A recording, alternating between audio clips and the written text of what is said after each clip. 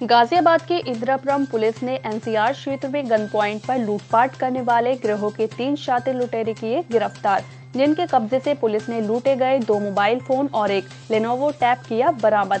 घटना को अंजाम देने के लिए ये लोग जिस मोटरसाइकिल का इस्तेमाल किया करते थे, पुलिस ने उस मोटरसाइकिल को भी किया बरामद।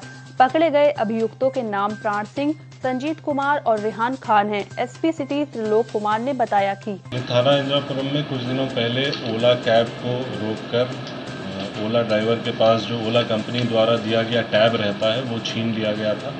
और उसके अलावा भी दो तीन घटनाएँ हुई थी। तो तीन लोगों को गिरफ़्तार किया गया है थाना इंद्रापुरम पुलिस द्वारा। जिनके पास से दो लूटे हुए मोबाइल फ़ोन और एक लूटा हुआ ओला का टैब बरामद हुआ है।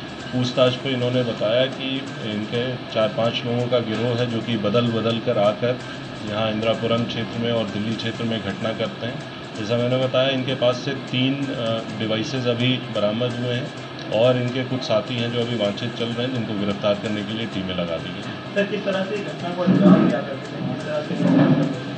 जनरली ये रात में ऑपरेट करते हैं अंधेरा हो जाने के बाद मोटरसाइकिल पे आकर सुनसान एरिया में यदि कहीं कोई कैब खड़ी है या फिर कोई लोग पैदल चल रहे हैं तो उनको ये टारगेट बनाते हैं।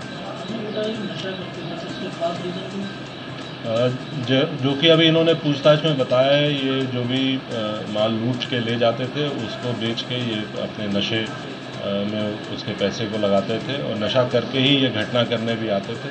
जब इनकी गिरफ्तारी हुई तभी ये नशे की हालत में पाई गए